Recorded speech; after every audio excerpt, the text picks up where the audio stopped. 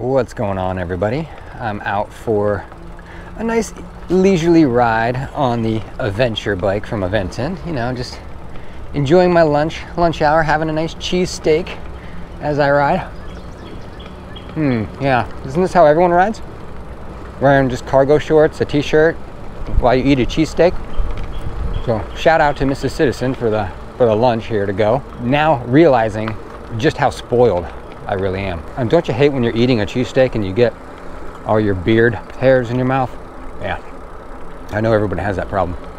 All right, that was a good sandwich. Thanks, Mrs. Citizen. Anyway, as I ride this bike, I uh, actually, maybe I should show it to you. Let me stop here really quick so you get a visual on what I'm on if you don't know.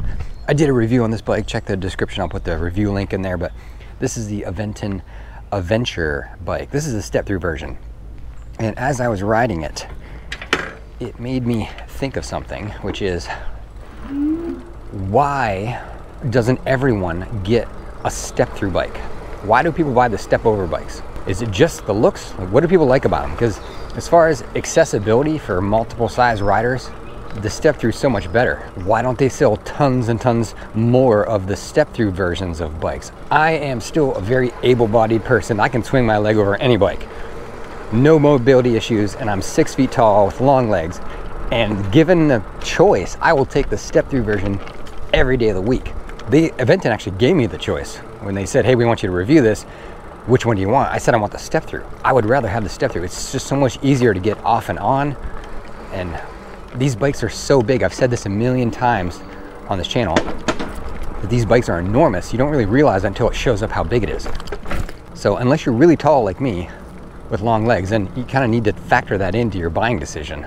But why not get the one that's easier to get off and on? Because if you throw any kind of like pack or cargo or anything on the rear rack, now you got to lift your leg even higher to get up over that. If you got this, then it doesn't matter how high you stack stuff up on the rear rack or if you have a kid seat you want to put on there or something, uh, as long as you got the step through, you're good to go. It's so easy to get off and on. So I don't, I don't know why. Is it because it's classified as a girl's bike? Is that why people don't get them? I don't know. I just don't see it as a girl's bike. I see it as a really cool, actually very high-end looking e-bike. I like riding this Aventure bike around because it feels very high-end. It, it feels like it should be priced higher than it is. Don't tell them I said that. I hope they keep the price the same. Compared to some others in that same category, it feels higher class, I guess. I don't know. And I did make a couple additions. You can see I got my water bottle holder on here. I'll link all this stuff in the description too, because I know you'll ask. But uh, the mirrors, I just put these on the Hafny bar end mirrors. They're they're all right. They go in really easy. They're easy to install. They're super simple. Adjustable, you know, you can swing them up, down, left, right, whatever. They're clear enough. They're not crystal clear like I like my mirrors, but they're they're pretty good. I've, I've bought them multiple times now and I wouldn't hesitate to recommend them. They do a pretty good job. So if you're looking for bar end mirrors, those work pretty good. But someone please enlighten me in the comments as to why if you're older, you know, you're retired, you're 65, maybe you've got some mobility issues now, or why, why are you torturing yourselves with the step over version? Just get the step through. It's so much nicer. It's so much easier to get on. I, or why? Why? Somebody tell me, what is it? I don't think the frames have any different weight carrying capacity with the step over versus step through, so I don't know that's a factor.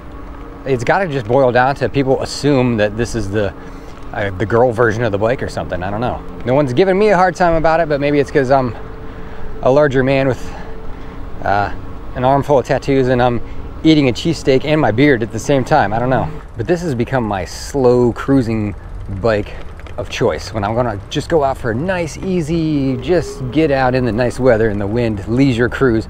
The Aventon is kind of taking that spot. This and the Escape bike, uh, those two are seem to be the go-to for that. I mean, the Ariel Rider is a thrill ride. So I love the thrill rides, but every once in a while I just want to go out and just do this nice, nice slow cruise. So the Aventure bike has been kind of my go-to lately for that. I might start adding a few more accessories to this thing. This might get the Tannus liners. We'll see.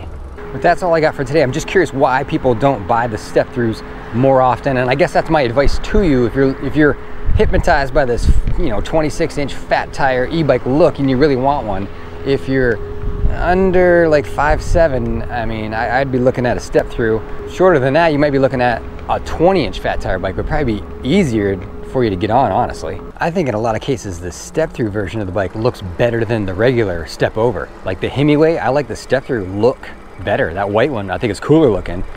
And now on the Aventon here, I actually like the step-through look better on this bike too. But check out the review I did on this Aventure bike. It's been a, been a popular one, so some good information in there. And you can also check my review and comparison playlist to see reviews on other bikes. And I've got another review I'm hopefully, hopefully getting out this Sunday on the Fiido L3 bike. Check for that. Um, do me a favor, hit that like button, help me out on YouTube, and uh, click subscribe, ring the bell so you know when I put out new stuff. And let me know why people don't like step throughs. I love them. Talk to you guys later.